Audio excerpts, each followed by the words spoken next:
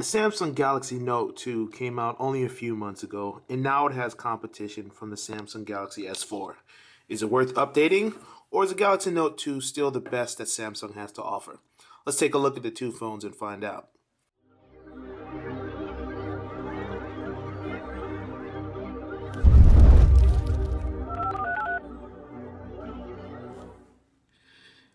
The Galaxy Note 2 and the Galaxy S4 are similar in some regards in terms of the shapes, but you can see that the S4 is clearly smaller, and that's because there's a considerable difference in girth. The Galaxy Note 2 is taller and wider, and it's also a little bit thicker, just a tiny bit, but it's not that big of a difference in terms of design philosophy. They both have the home button at the bottom, and they have menu and back buttons that disappear depending on when they're touched or if the screen is active. Now the difference between the home button is the Galaxy Note 2 actually has a better one because it's easier to press down, it's more responsive, but with the Galaxy S4 it's raised a little bit more so you have to apply a little more pressure and sometimes it doesn't respond as quickly or as well. But aside from that, you see that there is a considerable difference in size, so I actually think the S4 is more practical and enjoyable enjoyable to hold, especially when using one-handed operation. You're not stretching halfway across the device to access parts of the screen. It's much easier to reach things. One-handed operation is a lot easier to handle and is more comfortable to begin with. The Galaxy Note 2 has a large 5.5 inch screen. It's 720p, it's Super AMOLED.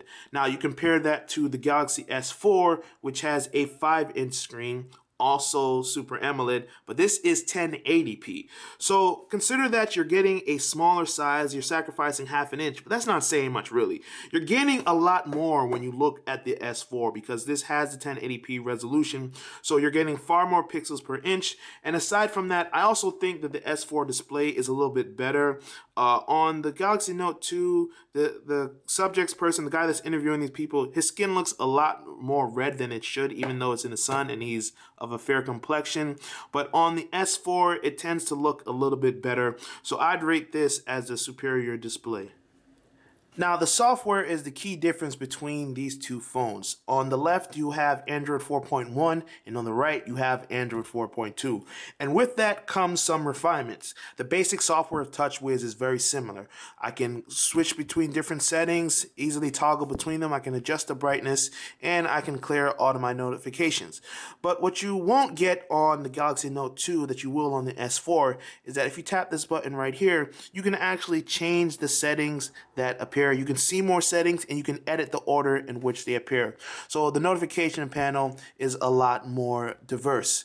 Aside from that, there's uh, more things you can do like with gestures. For instance, if I go into the gallery app,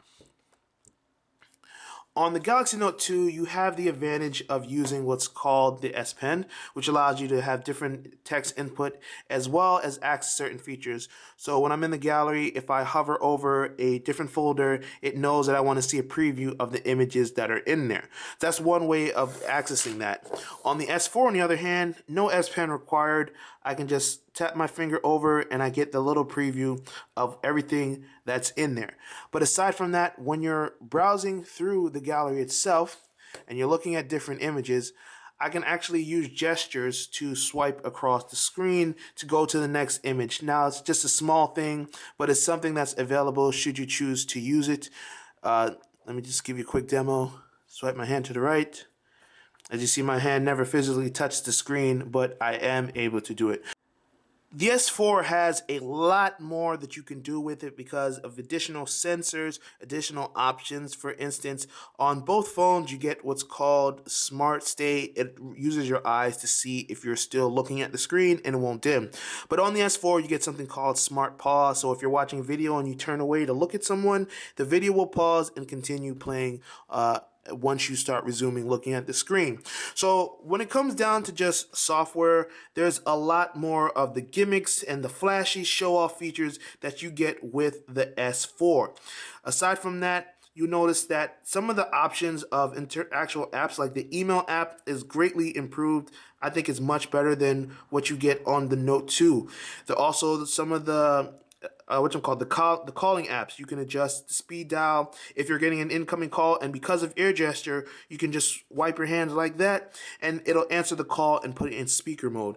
Those are certain things that you don't get with the Note 2, but there are some things that the Note 2 offers that are unique to this device. Obviously, the most unique thing about the Galaxy Note 2 is the S Pen, which really opens up a lot of doors when it comes to input. If you're someone who's artistic, you're going to love the ability to really draw and map out concepts and have things be a lot more accurate than they are on a phone. And there's a lot of things that you can do with this, especially if you are an artistic person. Uh, if even if you're just using it for productivity purposes, you can also get different templates uh, for spreadsheets, uh, for document creation, and just mapping out concepts in general. And the S Pen works in other aspects of the device. So if you're someone who likes the accuracy of navigating with this and using the AirView and all that, it does come very much in handy. Both of these phones have quad core processors, but all quad cores are not created equal. The Galaxy Note 2 has a 1.6 GHz processor developed by Samsung, while the Galaxy S4 has a 1.9 GHz processor developed by Qualcomm. And you will notice a difference between the two. Now, in terms of sheer power, the Galaxy Note 2 is no slouch by any means. You know, that quad core processor definitely gets along and does what you need it to do. But with the S4, you're getting a lot more out of it. Uh, as you can see from the benchmark test that I'm running here, these two phones actually started at the exact same time, but the S4 is cycling through it a lot faster because it's able to handle things quicker. It writes to your card uh, about a decent amount of time. It definitely has faster graphics faster processing from the, the CPU, and it's just overall a better package. Now, the difference between the two might not be enough to upgrade, but if you're getting a new phone for the first time, the S4 is definitely going to be more powerful and give you more bang for the buck. The Galaxy S4 distinguishes itself with the camera. Now it has a 2 megapixel front facing lens, a 13 megapixel rear lens with flash located beneath it, compared to the Galaxy Note 2, which has a 1.9 megapixel front facing and an 8 megapixel with the lens with the flash to the right of it. Now, don't get caught up in the megapixel count. What matters most is that the Galaxy S4 tends to let in more light tends to have a better white balance and overall just takes better pictures. Aside from that, you get more options with the shooting mode. Some of these are available like best photo and best face as well as HDR. You can get those on the Galaxy Note 2 as well. But this has 13 modes with a lot more settings and overall the camera is just better. So when it comes to photo taking, the S4 definitely has the advantage. The Galaxy Note 2 has served its purpose well for the past five or six months that it's been available, and it's still chugging along as one of the most powerful phones available on the market. But the problem for the Note 2 is that five or six months in tech is a long time, and there's a lot of new products, and newer typically means better, right? Well, not quite exactly. I will give the Galaxy S4 credit for being the better overall phone in terms of feel and touch. They both have that glossy back, but this is lighter, it's slimmer, and it's a lot easier to manage with one hand and when in your pocket. Aside from that, Android 4.2 does offer a lot more features. Now, some of them may be gimmicky, granted, but there's so many features you can see that they had to change the settings to make it four tabs instead of just one long list. They've made advancements to a lot of apps like the calendar app. Uh, and aside from that, you still get multi-view, so you can still have the multi-window where you split apps into two on the S4 like you do on other smartphones. So all of the great things that made the Galaxy Note 2 a little more unique, uh, you can still kind of do on the Galaxy S4 with the exception of the S Pen. The reason that I say that newer isn't necessarily better is that the Galaxy Note 2 is still a very good phone and that battery life. It has a bigger battery life that lasts longer, and that matters to a lot of people, myself included. Now, the size of the Galaxy Note 2 may be a little daunting, and if you're buying a, a new phone, you typically want to future proof it. This will get most of the software features available in the Galaxy S4, but not all of them because of some of them are, might not be possible related to sensors, hardwares, and things like that.